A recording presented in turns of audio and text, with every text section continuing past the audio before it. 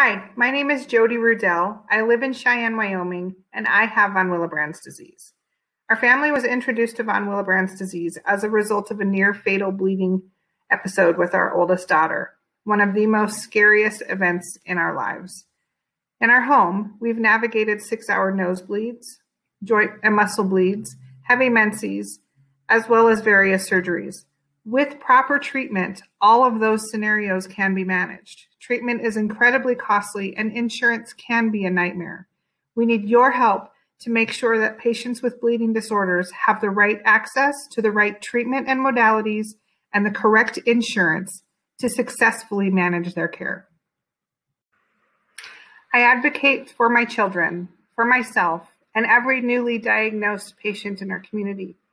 I can recall sitting at my computer at 3 a.m. trying to figure out what the heck von Willebrand's disease was and who I could reach out to for help. I had so many questions to ask and I was scared. The bleeding disorder community is full of individuals who can provide answers to those questions and even offer a shoulder to cry on. I advocate because I want to help ease the fear in their mind and reassure them that treatment is available and that they can survive outside of a bubble. I advocate for patient rights, protections, and treatments, and also for new research that is being done. I advocate because I love our community.